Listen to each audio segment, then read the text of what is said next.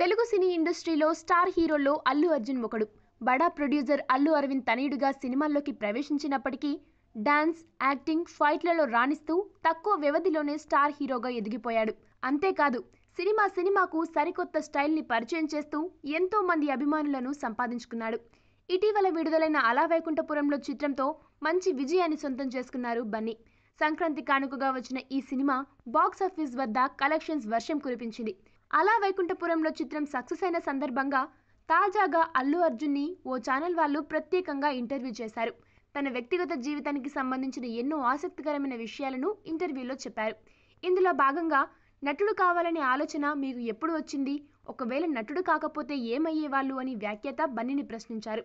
Stylish star Allu Arjun నటుడు కాకపోతే piano teacher కావాలనుకున్నారట. చిన్నతనంలో నటుడిని కావాలని అసలు అనుకోలేదు. కెరీర్ విషయంలో ఒక్కో సందర్భంలో ఒక్కోలా అనుకునేవాడిని. కొన్నిసార్లు పియానో టీచర్ అవ్వాలనుకున్నాను. కొన్నిసార్లు martial arts teacher animator visual effects supervisor ఇలా చాలా అనుకున్నాను.